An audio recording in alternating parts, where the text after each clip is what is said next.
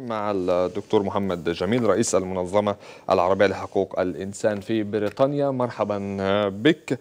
هل وفرت قضية جوليو ريجيني وحالة الزخم الرسمي والشعبي الموجود الآن فيها خاصة في أوروبا واقعا جديدا للمنظمات الحقوقية؟ وبالتحديد منظمتكم الموجودة على أراضي بريطانيا واقع جديد تسعون فيه بحرية ربما أكثر وأدوات أكثر من السابق. يعني دائما القوانين خاصة القانون الأخير ليس قضية ريجيني الحرية موجودة لكن والقوانين موجودة لكن الإرادة من أجل تفعيل هذه القوانين في عموم القارة الأوروبية تكاد تكون منعدمة. اليوم قانون العقوبات اللي شبيه بالقانون الأمريكي ممكن يفتح أبواب جديدة في ملاحقة المسؤولين عن الجرائم الخطيرة في مناطق في دول مثل مصر. لكن الواقع الجديد الذي نتمناه وهنا يعني يقع أهمية الحراك الأخير في قضية بيجين هو أن تكون دول الاتحاد الأوروبي يدا واحدة وكلمة واحدة في فرض عقوبات حقيقية على هذا النظام المجرم. إذا لم تقم هذه الدول الأوروبية بفعل على كيف, أرض كيف الواقع يتم ذلك وهناك حالة من التعاون القصوى ما بين فرنسا والنظام السيسي. يعني فرنسا أحد الدول إيطاليا نفسها من في جون الماضي م. وقعت صفقة سلاح ب 11 مليار دولار. متى؟ م. سيكون لغة الفلوس لغة الأخلاق وحقوق الإنسان. متى ستتغلب على لغة صفقات السلاح؟ هنا السؤال. حتى إيطاليا إيطاليا لعبت في قضية ريجيني منذ أن حدثت هذه القضية وحتى الآن بسبب الضغوط الكثيرة الداخلية حدثت هذه الانعطافة. قدم مشروع قرار للبرلمان الأوروبي. نتمنى أن يقر بشكله الحالي رغم التعديلات التي حصلت عليه.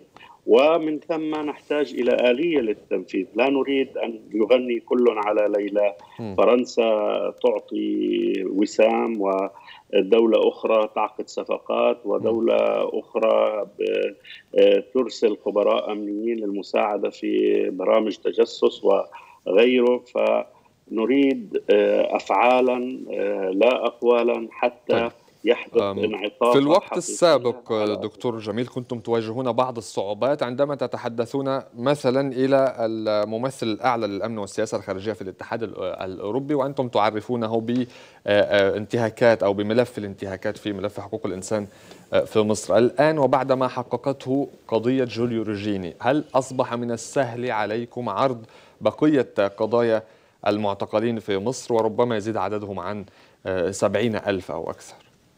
يعني شوف كما قلت أنا أتحدث عن الإرادة الأخلاقية والإرادة السياسية، ممثل السياسة الخارجية للاتحاد الأوروبي أنا في أقصد الشرح والتفصيل أو الإقناع. التفصيل وهم مقتنعون ويعلمون ويعرفون ماذا يحدث. الرئيس مانويل ماكرون يعرف من هو السيسي و أعطاه هذا الوسام.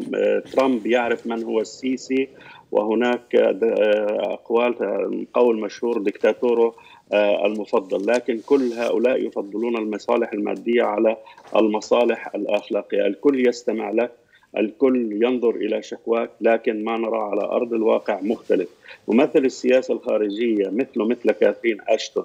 هذه المرأة عندما كانت في هذا المنصب شهدت مجزرة رابعة وشهدت عدة عمليات قتل وكانت تعود من مصر لتقول رغم عمليات القتل ورغم على هناك أحداث متعددة شاهدناها ورصدناها يعني بعد عمليات القتل تحدث عمليات قتل بعد مجزرة رابعه وغيره تعود إلى أوروبا لتتحدث عن عملية ديمقراطية وعملية انتخابات. إذا هؤلاء ما داموا بلا إرادة سياسية بلا أخلاق بلا طيب هذا بالنسبة للإرادة السياسية في الاتحاد الأوروبي ماذا عنها في مصر؟ هل سيستجيب النظام المصري لهذه المطالب؟ مثلا المفوضية الأوروبية تطالب السلطات المصرية بالتعاون مع الجانب الإيطالي بل والبرلمان نفسه يصوت ربما على عقوبات.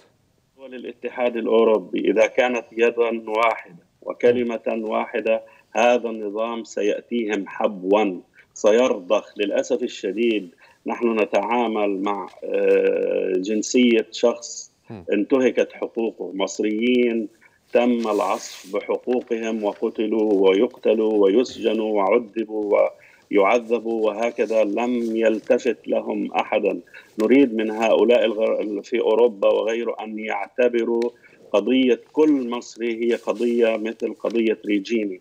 الشيء الوحيد النافذة الوحيدة التي فتحوها لنا عبر هذا الحراك هو القوانين الأخيرة التي شرعت في البرلمان أو ستشرع قوانين المحاسبة الفردية وغيره سيفتح الباب واسعا لملاحقة هؤلاء المجرمين لكن على يقع على الملاحقة تقع على عاتق المنظمات الحقوقية، ما نريده أن تقوم هذه الدول نفسها لتضغط على مصر لإغلاق هذا الملف ومحاسبة المجرمين الذين قتلوا ريجيني وغير ريجيني. محمد جميل رئيس المنظمة العربية لحقوق الإنسان في بريطانيا. كنت مع عبر سكايب. شكرا جزيلا لك.